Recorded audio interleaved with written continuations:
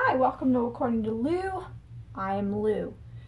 And I was reading something, uh, not reading, I was watching something, and it came up in conversation with these two people about the difference between self confidence and self esteem. Self confidence is an act, the choices we do, what we do. Self esteem is a sense of being. So, like, we're born with this very, very high self esteem. Of course, situations can change, like, anybody can get knocked down if their home life is bad or, you know, stuff like that. But we're naturally born with this high self esteem because we just do. I mean, what kid do you see running around that says, oh, I'm nothing? I am nothing. My person does not matter here it's very rare that you see any young person feeling that way about themselves.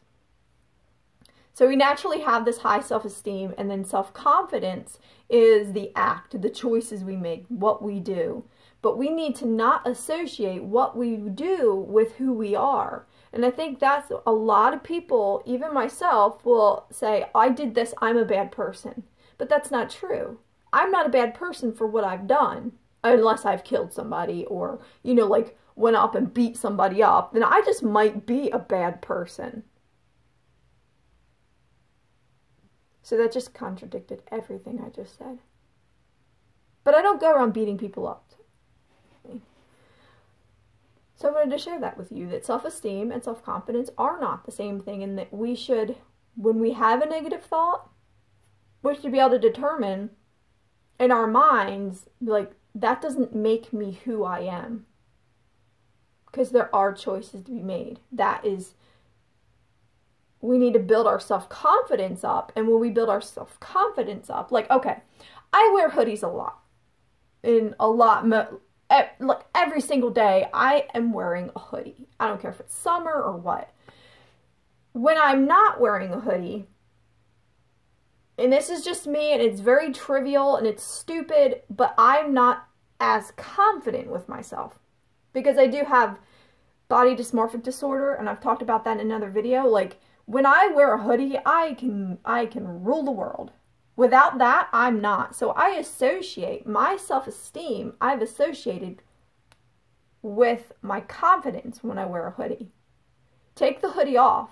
This is something I need to learn is that if I'm wearing anything other there are times I wear a t-shirt it's usually a comfortable t-shirt. And this is stupid. It's just one example where I associate my self-confidence with my self-esteem. I'm confident when I'm wearing this shirt. And my self-esteem has gone up when I wear this shirt.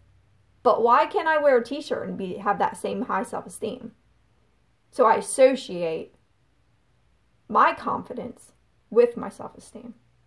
I hope I hope I completely and utterly confused you because I just confused myself. I need to do my research and we will remake this whole thing.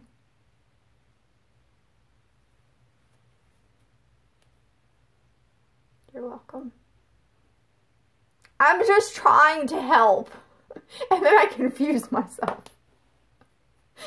anyway, only according to Lou.